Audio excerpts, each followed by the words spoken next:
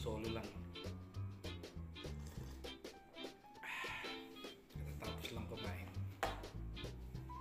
Yakapin muna.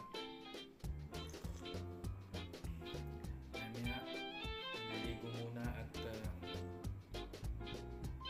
may dito ah. Biglang dumilig. Laki-laki kasi ng hotel dito, solo ka lang. Ganun pala pagka-quarantine.